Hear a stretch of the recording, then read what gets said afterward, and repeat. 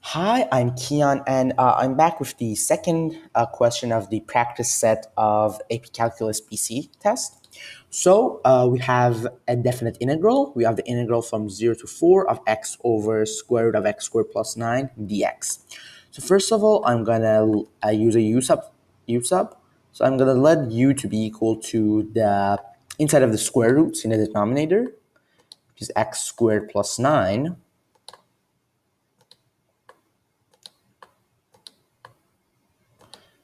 And then uh, using uh, differentiation, I get du is equal to 2x dx because derivative of x squared is 2x and derivative of 9, the constant is 0.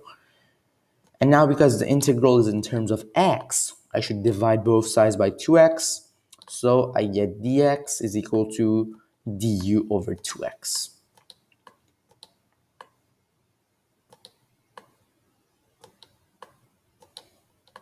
Now, this is a definite integral, so we have a boundary. And usually when we are doing indefinite integrals, we don't have boundary. After u sub, we just plug in and we use the integral in terms of u. But now when we have boundary, we should also change the boundaries because we're, we're changing the variable. So for the boundary of 0, when we plug in x to be 0, for u we get 9. And then when we plug in 4 for the upper bound, we get 4 squared 16 plus 9 is 25.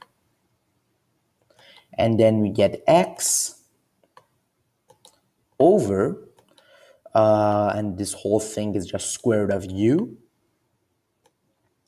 And then multiplied by dx, which is du over 2x.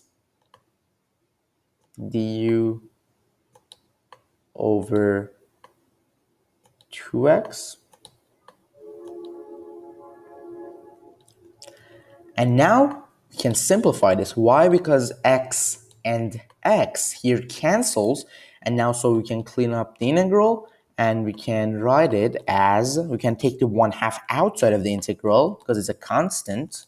So we can have, this is 1 half the integral from 9 to 25. And then I can write uh, 1 over square root of u as u to the negative 1 over 2 and then du.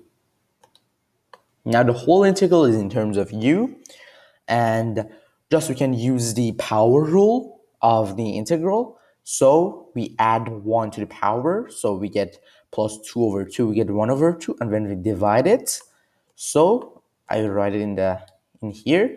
So I get 1 half and then bracket inside of the bracket. Integral of u to the negative 1 over 2 i said we add 1 we get 1 and a half divided. We get 2 uh, times u to the 1 over 2 which is just 2 times the square root of u. And then we should evaluate this from 9 to 25 okay now it's just simplification and some algebra.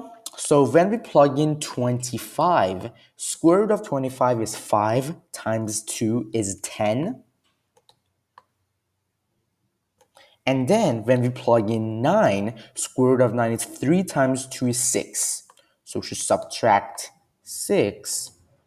But uh, don't forget that we have a 1 half here. So we should divide it by 2. And when we subtract 10 minus 6 is 4. 4 divided by 2 is 2. So this whole definite integral just converges to 2. Thanks for watching. Please subscribe to my channel for